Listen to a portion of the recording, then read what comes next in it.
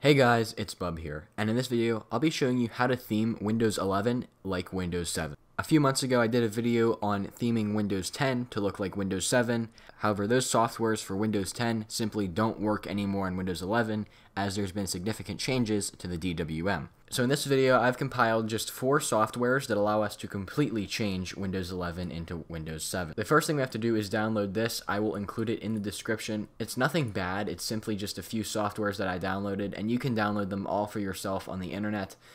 I'll show you what they are once this extracts. So here are the simple softwares. We have Start All Back, Window Blinds 10, Windows 7 games for Windows 10 and 8, and a just wallpaper category. So if you don't feel comfortable downloading this, you can download all of these from the internet. However, if you don't want to search for them, I've simply compiled all of them into just a zip file for you to download. So the first thing that we're going to do is simply open the wallpaper category, select all, and then set them as desktop background. Obviously, this is a very minimal change. Now, the first thing that we're going to do is install Start All Back. Start All Back is a software that essentially allows us to get the Windows 7 taskbar, Windows 7 start menu, and all kinds of those things back. And this software really does a lot of the work for us. So here you can go ahead and select whatever you want. You can select Proper 11, which is the Windows 11 themed, the Kinda 10, which also changes the taskbar, and Remastered 7. Obviously, we are going to choose Remastered 7, which looks the most like Windows 7. But of course, the customization doesn't stop there. We can go ahead and choose things in our Start menu. Now, of course, you can change this however you would like. Whatever you want to do, you can change here. This is completely up to you. Again, in the taskbar, we can change our Start icon to whatever we'd like it to be. However, I'm going to leave it as the Windows 7 orb. We could also choose our icons to be centered with dynamic transparency or segment our taskbar, but of course we're going to leave it just like our regular Windows 7 just for the effect. And in the Explorer, I highly recommend sticking to the Windows 7 command bar as it looks pretty much exactly like Windows 7.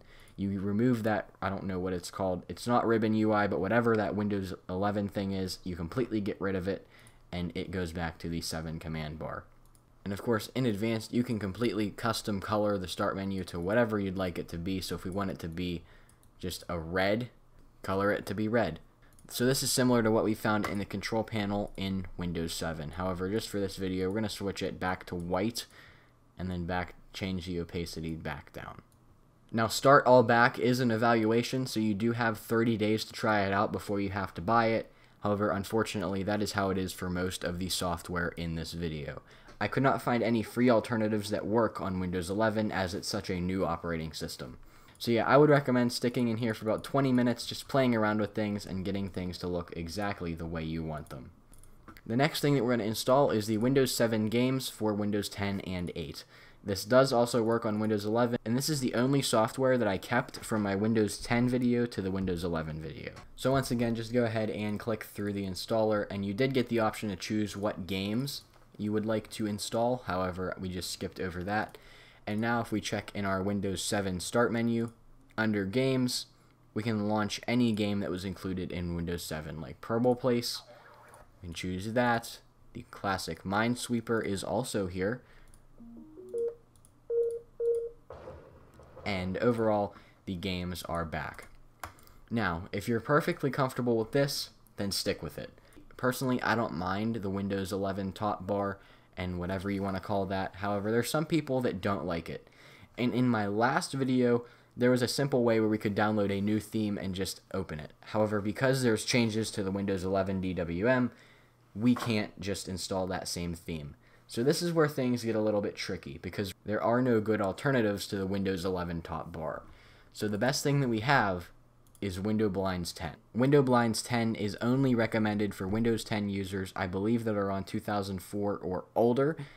However, it does work on Windows 11. It is a little bit glitchy, although if you really want to go all out, you can go ahead and install this. Just know that myself or Window Blinds is not responsible for any damage this may cause to your computer because you're using it on an unsupported version of Windows. And there are glitches with this as I've seen in my testing and just agree to the software terms and go ahead and install. The installer for Window Blinds does take a little bit because it has to copy so many files over. So just go ahead and let it run. Like I mentioned earlier, this is a software that requires a 30-day trial or a purchase. Like I said, I couldn't find any better free alternatives, so this theme is kind of expensive, but you can use a 30-day trial just to kind of get the effect. Once you've went in your email and activated your 30-day trial, we can go ahead and close out of that and click finish. And now in window blinds, there are a ton of cool themes that you can check out if you want to. Like there is a macOS theme, a Windows 8 theme, an EVA theme, corporate. There's all kinds of different themes. Although the one we're interested in is Diamond, as it is the closest to Windows 7. So we can go ahead and click Apply Style to Desktop, and then click Yes. Now there are some conflicts between window blinds and the Start is Back, so we are just going to have to ignore those for now. Now immediately after you apply a theme, we can see that some things down here in our system tray look off. Um, let's just sign out really quick and sign back in, and then that should fix our problem right up. And yeah, so the coloring is off a little bit, however, it did fix our issue down there. And so this is our Windows 7 theme for Windows 11. Obviously, th some things aren't right, especially if you installed window blinds. As you'll notice, we'll open the File Explorer, and it does have a white border around it if it's windowed, but if it's full screen, it does look exactly the same. It looks perfect. Um, same thing with like the Microsoft Store. You'll notice that the theme at the top covers up the search bar. Um, so, of course, things aren't perfect. Right. There's no good Windows 7 themes for Windows 11 right now. This is the best thing that I could come up with. So let's just take a look at actually what we've done. Here is our action center. It does have our calendar and our notifications. Clicking on the time right here does bring up the legacy time and date thing from Windows 7. Clicking on volume brings up a legacy Windows 7 volume slider and clicking on network does bring up that Chrome OS like Action Center thing. Now, some things that we didn't change are, of course, icons. I wanted to leave the icons alone because I really like the Windows 11 icons. However, there are icon packs that I'm sure are really easy to change on Windows 11. I kept all of the Windows 11 sounds the same, so that's simply just because I like the sounds. One last thing you can also do is hide the things on the taskbar like widgets and the chat icon and even the search icon so it looks even more like Windows 7. Although if you'll notice, all of the new context menus are gone. You have the classic right click on the taskbar, you have no more new context on the desktop, and even in File Explorer it is gone as well. This is because I believe Start is Back changed them all to the legacy Windows 7 versions. So, would I use this as my daily driver? No, I really don't think I would. However, it is a cool thing to see that we can actually do this. And just to show, it's not using too much memory. We're using 3 gigabytes at idle. And I totally forgot to see how much it uses before the installation of the theme, although nothing is really using a ton of our memory except the Windows Explorer.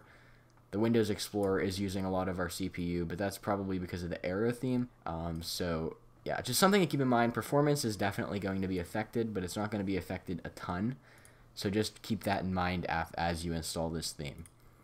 And so with that being said, thank you for watching this video. If you liked it, make sure to subscribe if you're new around here as I do all kinds of different technology videos, including device restorations. And if you have a better way to theme Windows 11 to look like Windows 7, please let me know in the comments down below and I will make some updates to this video, although this is the best thing I could find for right now.